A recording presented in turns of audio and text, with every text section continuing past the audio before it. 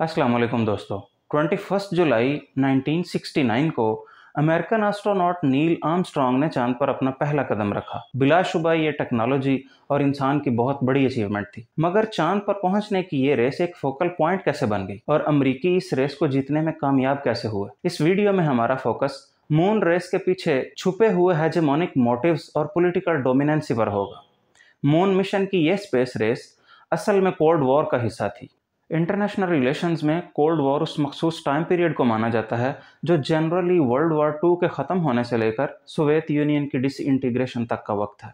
इस मखसूस time period में वर्ल्ड स्टेज पर दो लीडिंग पावर्स थी, एक यूनाइटेड स्टेट्स ऑफ़ अमेरिका और दूसरी यूएसएसआर यानी Union of Soviet and Socialist Republic जिसे आमतौर पर हम सोवियत यूनियन कहते हैं। ये दोनों पावर्स किसी भी तरह, किसी भी मैदान में, एक दूसरे को नीचा दिखाने की दौड़ में थी। स्पेस रेस उन बहुत से कॉम्पिटिशन में से एक है। कोल्ड वॉर के दोनों की प्लेयर्स यूनाइटेड स्टेट्स और सोवियत यूनियन की long range ballistic missiles race space race की वजह बनी, जो आने वाले वक्तों में साइंटिफिक रिसर्च प्रोग्राम में बदल गई। 1955 को दोनों पावर्स ने यह अनाउंस किया कि वो आर्टिफिशियल सैटेलाइट को ऑर्बिट में भेजने का इरादा रखते हैं। आज के दौर में जब यूनाइटेड स्टेट्स हर एक टेक्नोलॉजी में लीडिंग रोल प्ले कर रहा है तो ये मानना कदरे मुश्किल और सरप्राइजिंग सा लगता है कि स्पेस में पहला सैटेलाइट 4 अक्टूबर 1957 को सोवियत यूनियन ने भेजा, जिसका नाम स्पुतनिक वन था। इसके कुछ ही महीनों बाद सोवियत यूनियन ने एक दूसरा सैटेलाइट स्पुतनिक टू ऑर्बिट में भेजा और इंटरेस्टिंगली उसमें एक डॉग जिसका नाम लाइका था, उसको भी खुला में भेजा गया। नो no डाउट ये एक बहुत बड़ा इम्पैक्ट था। और कोल्ड वॉर के कॉन्टेक्स्ट में इसका सीधा सा मतलब ये था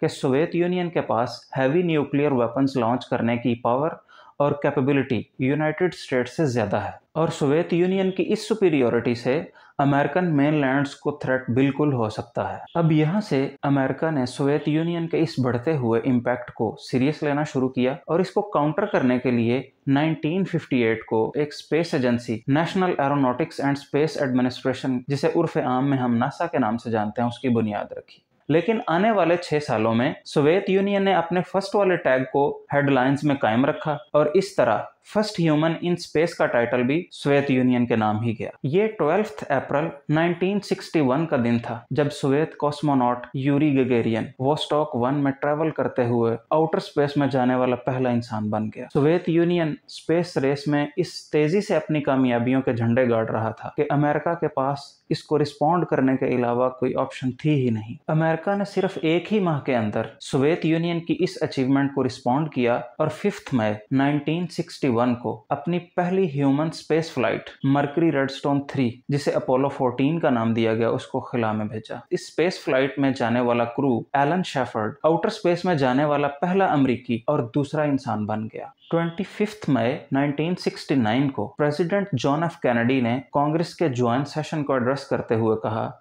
believe that this nation should commit itself मेरा मानना है कि इस कौम को ये अशरा ख़त्म होने से पहले इंसान के चाँद पर उतरने का अपना मकसद हासिल करने का अज़्म कर लेना चाहिए। इवेंचुअली इस डिक्लेरेशन ने स्टार्टिंग गन का काम किया और यूनाइटेड स्टेट्स और सोवियत यूनियन के दरमियान चाँद पर उतरने की बाकायदा रेस शुरू हो गई। मगर सोवियत यूनियन ने अपनी पहल की रिवायत को बरकरार रखते हुए बहुत से मिशन में अमेरिका को कम्पीट किया। जैसा कि 1963 में first women in space Valentina Tereshkova 1964 में first multiple space crew Voskhod one 1965 में first space walk Alexei Leonov लेकिन सोवियत यूनियन की इन पै दर पै कामयाबियों के तीन साल बाद यूनाइटेड स्टेट्स ने अपने अपोलो प्रोजेक्ट जो कि इंसान को चाँद पर ले जाएगा, उस पर सीरियसली काम शुरू कर दिया। अमेरिका ने स्पेस में इंसानों की सर्वाइवेबिलिटी को टेस्ट करने के लिए अपने छह एस्ट्रोनॉट्स को मरकरी प्रोग्राम के थ्रू स्पेस में भेजा। इसके फ़ौरन ही बाद प्रोजेक्ट गेमिनी के थ्रू टेन क्रूज को खला में भेजा गया। ये दोनों प्रोग्राम 1965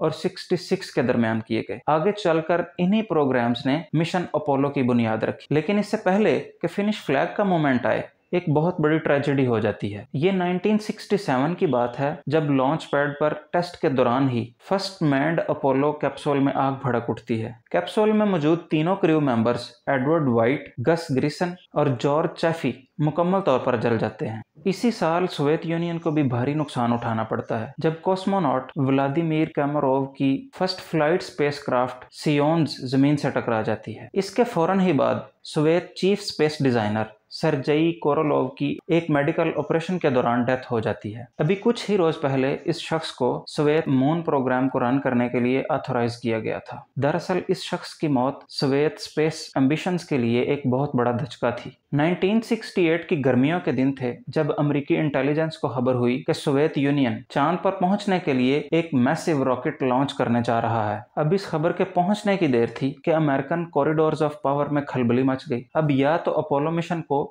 चाँद पर लैंडिंग की टेस्टिंग के लिए भेजा जाए, जो कि अभी मुकम्मल तौर पर तैयार ही नहीं था, या फिर नासा के अपने रॉकेट, द फिफ्थ को इनागुरल मैन फ़्लाइट के लिए भेजा जाए। इस फ़्लाइट का मकसद तीन ऑस्ट्रोनॉट्स को चाँद के गिर्द चक्कर लगाने के लिए भेजना था। बहुत ज़्यादा कंसल्टेशन के बाद, नासा के तब के एडमिनिस्ट्रेटर जेम्स वेब ने फैसला किया कि वो सैटर्न फिफ्थ को भेजेंगे। उसका मतलब ये था कि अगर ये मिशन सक्सेसफुल होता है तो United States political momentum gain कर जाएगा जिसका मतलब ये होगा कि अब हम बहुत जल्द चाँद पर उतरने के काबिल भी हैं। दूसरी तरफ़ सोवियत यूनियन भी मून ऑर्बिट में मिशन भेजने का प्लान कर तो रहा था, मगर इसमें मौजूद क्रू कोई कॉस्मोनॉट नहीं, बल्कि कुछ पौधे छोटे छोटे जानवर और पेयर ऑफ़ टॉर्टाइज था। इस मिशन ने सितंबर 1968 को फ्लाई किया। इसके महज तीन माह बाद अमेरिकन अपोलो 8 ने फ्लाई किया, जो कि फ़र्स्ट टाइम ऑस्ट्रोनॉट्स को मून ऑर्बिट में लेके गया। इसी मिशन अपोलो 8 में मौजूद ऑस्ट्रोनॉट विलियम एंडर्स ने लियोनर ऑर्बिट से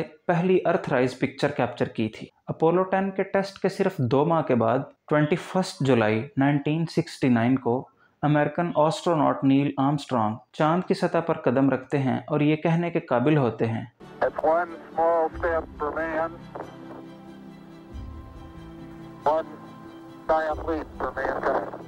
कि ये इंसान के लिए एक छोटा सा कदम, जबकि इंसानियत के लिए एक बहुत बड़ी जस्त, यानी छलांग है। बिल आखिर बेटर ऑर्गेनाइजेशन और हायर फंडिंग लेवल ने अमेरिकन स्पेस रेस को कामयाबी से हमकिनार किया। चाँद पर पहुँचने की रेस जीती जा चुकी थी। इसी दौरान सोवियत गवर्नमेंट ने यह क्लेम किया कि उन्हें चाँद पर उतरने में कोई दिलचस्पी नहीं। मगर अशरों बाद ये क्लेम गलत साबित हुआ। दर हकीकत सोवियत यूनियन ने ल्यूनर लैंडिंग क्राफ्ट बनाने की बहुत कोशिश की, लेकिन वो प्रोग्राम फेल हो गया और उसे मुकम्मल तौर पर राज में रखा गया।